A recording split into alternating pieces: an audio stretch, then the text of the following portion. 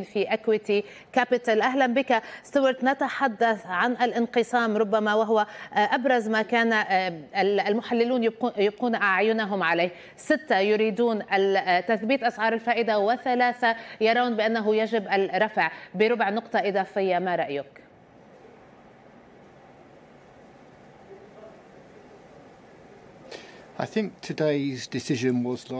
قرار اليوم كان إلى حد كبير متوقعا في السوق. ولنتذكر أنه في اجتماع سبتمبر كنا أمام خمسة أعضاء صوتوا لصالح إبقاء الفائدة كما هي. والبيانات الصادرة منذ ذلك الوقت لم تكن جيدة في اقتصاد المملكة المتحدة. النمو ما زال يشير إلى ركود وسوق العمل تظهر بعض الضعف المتراكم ونمو الأجور الذي شكل مشكلة لبنك إنجلترا. ظل يفقد زخمه. إذا سيكون من الصعب على هؤلاء الأعضاء الخمسة أن يغيروا رأيهم وأن يرفعوا الفائدة اليوم.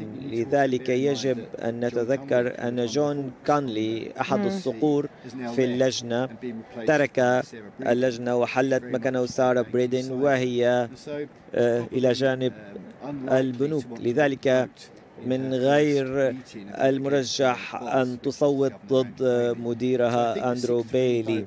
إذا التصويت بستة مقابل ثلاثة كان متوافقا مع توقعات السوق إلى حد كبير وكان يجب أصلا أن يكون متوقعا.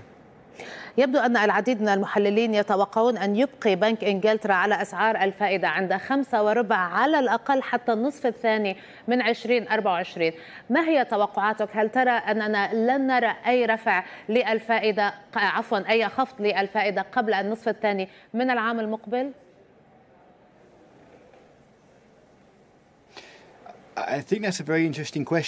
هذا سؤال لافت بنك إنجلترا يواجه حاليا معضلة في السياسات. في مؤشر أسعار المستهلكين للشهر الماضي وجدنا أن الضغوط التضخمية عنيدة ولم تهبط الأرقام ومكون الخدمات ارتفع ب 0.1% في التضخم وفي الوقت ذاته أرقام النمو في المملكة المتحدة تبدو ضعيفة نسبيا وبنك إنجلترا بحد ذاته يتوقع احتمالا بنسبة 50% أن نرى ركودا والأسواق تعتقد أن الاحتمال أعلى. إذا بنك إنجلترا سيعتمد على البيانات من الآن فصاعدا وإذا بدأ مؤشر أسعار المستهلكين بالتراجع بسرعة أكبر هذا يعني أنهم سيخفضون فائدة في أسرع وقت لتحفيز النمو. ولكن إذا ظل مؤشر أسعار المستهلكين عنيدا ولم ينخفض فإن بنك إنجلترا لن يكون لديه أي خيار إلا تثبيت السياسة لفترة أطول. وبما أن البنك أخطأ في قراءة التضخم قبل عامين وقال إنه مؤقت فبالتالي هو لا يريد للتضخم حاليا أن يتسارع من جديد ضمن الدورة ذاتها وبالتالي هذا يعني أن بنك إنجلترا سيتوخى الحذر مستقبلا بمقدار أكبر. لذلك في محاضر الاجتماعات اليوم هم ألمحوا إلى أن السياسة يجب أن تظل متشددة لفترة طويلة من الزمن. أيضا في تصريحات أو في البيان بيان بنك إنجلترا الحديث بأن هناك أدلة إضافية بأن الرفعات المتتالية والآن نحن عند أعلى مستوى في 15 عام تؤثر على نسبة النمو بالنسبة للاقتصاد البريطاني. وأيضا التصريحات بأننا بأن بنك إنجلترا يرى فلات جي دي بي في الربع الثالث يعني ثبات في في نسب النمو للربع الثالث. ما رأيك بهذه الأرقام وهذه التصريحات؟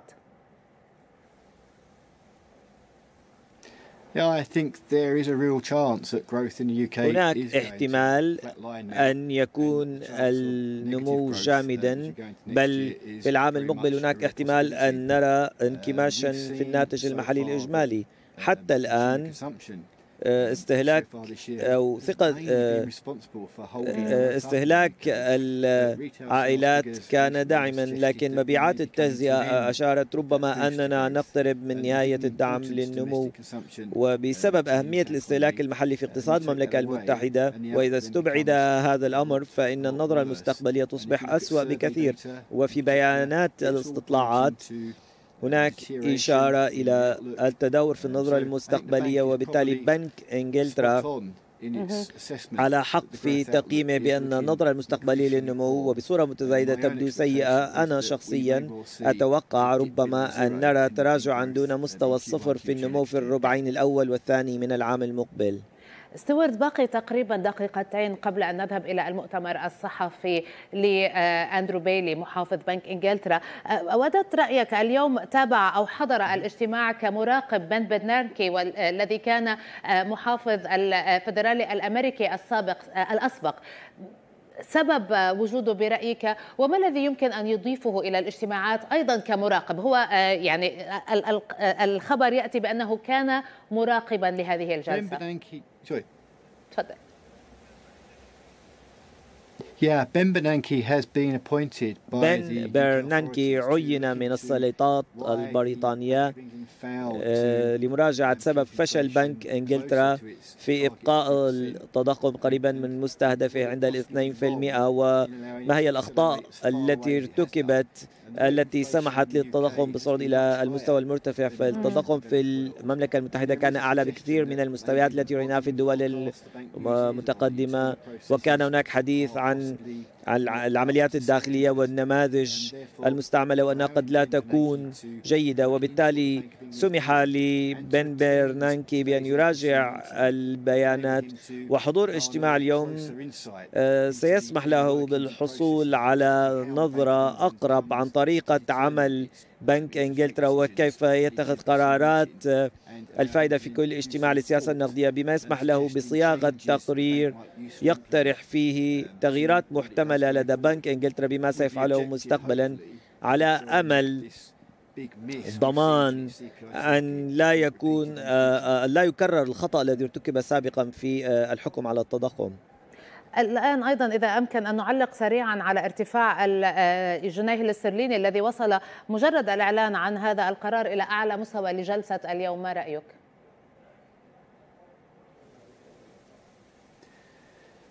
Yes, I think the, the sterling market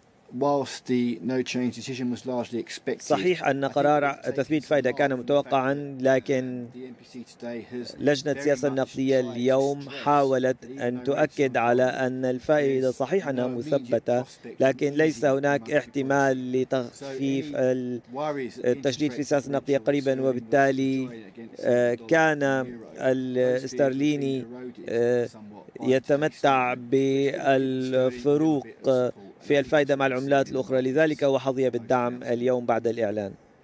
طب نراجع معا يعني ما ما حصل منذ الإعلان حتى الآن. أندرو بيلي قال بأنه من المبكر جدا التفكير في خفض أسعار الفائدة. الجنيه الاسترليني يصل إلى أعلى مستوى لهذا اليوم بعد الإعلان. البنك إنجلترا يحافظ على سعر الفائدة عند 5 وربع في المئة وهو أعلى مستوى في 15 عام. التصويت كان ستة إلى ثلاثة ستة مع التثبيت أسعار الفائدة عند هذه المستويات وثلاثة مع المزيد من الرفع الماجوريتي النسبة الأكبر قرر تحدثت أو وافقت اتفقت على على القرار ورأت بأنه يعني finely balanced يعني هو متوازن نوعا ما ولا حاجة للمزيد من الرفع في هذه اللحظات. إذا شكرا لك ستيوارت كول كبير الاقتصاديين في Equity Capital كنت معنا من لندن.